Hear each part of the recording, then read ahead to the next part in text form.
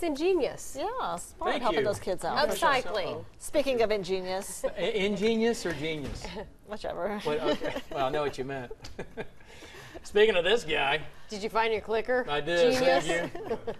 Had to go to like 20 rooms in the building.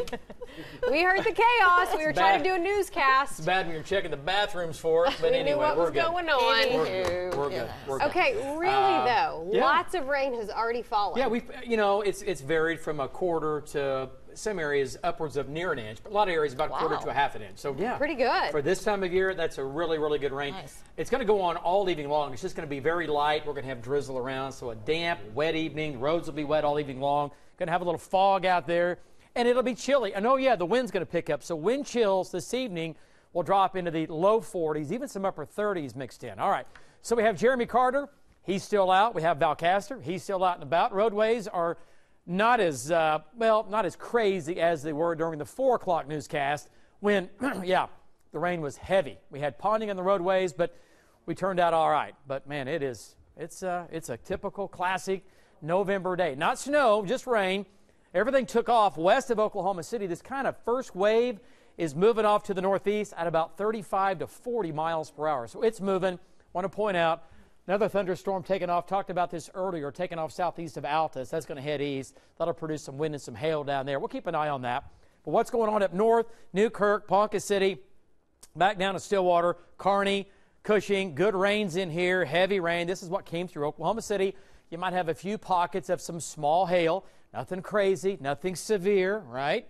But uh, we are tracking that. And here in Oklahoma City, the green is light rain and drizzle. And this is going to go on all evening long. So if you have any evening plans, yeah, temperatures will drop into the 40s. The light rain and or drizzle will continue. So a damp, raw, ugly evening. A little bit of hail in Lincoln and Payne County right now. Rain amounts with this wave that went through the last couple of hours, quarter to a half to some areas more than a half inch of rain. Here in Oklahoma City, look at that shot. Wow. Yeah, 50 degrees now. We're going to be in the upper 40s here the next uh, couple of hours. Northwest wind at 17. The wind's going to pick up too, so get ready. It's going to blow this evening. Our humidity at 100%. So there's your cold front. Even some upper 40s already coming in out ahead of it, 60s and 70s. Remember the 70s we've had the last couple of days? Yeah. Say goodbye to those, right? So 70s to our east. Cold front is eastbound and down. It'll take the 70s and get rid of them. North winds behind the front, gusting 25 to nearly 30. All right, so here's what's going on right now. Upper storm to the north, strong jet stream coming out across Oklahoma. The main part of this energy is producing a lot of snow now to our north, but there's your cold front that's tied to that ball of energy. So that moves east. Cold air comes in tonight and tomorrow. We're talking highs tomorrow in the 40s. All right, about the same on Saturday. Cold Saturday morning, really cold. And then by Sunday, back to the 50s out ahead of this. Now, this, I think, is a done deal as far as getting precipitation on Monday. But the deal is, is where is the cold air? Exact track of that upper low. I think we'll. I think we will see snow in Oklahoma, but the ground temperatures are pretty warm. And if it happens during the afternoon or late morning, a lot of it's going to melt. But we'll, we'll say rain changing to snow Monday. Could be as early as Monday morning into the afternoon. Not for everybody, though, okay? Not everyone's going to get snow out of this. The most likely area right now would be across western and possibly southwestern Oklahoma, the way it looks. And then we'll get a break, cold, and then the next storm for the end of next week comes out by next uh, Wednesday and Thursday, and more cold air in behind that. So Monday looks like this rain, a winter mix, rain mixed with snow. If we get rain mixed with snow, there's no accumulation at all, right? It's not going to stick if you have raindrops mixed in. So that's going to be a, a factor as well. But if we can change over to all snow, there might be a couple of areas, western, southern, maybe southwestern Oklahoma, that pick up maybe a couple of inches of a wet snow. But all in all, I think the roadways right now look to be like, well, they're going to be in pretty good shape overall, just wet.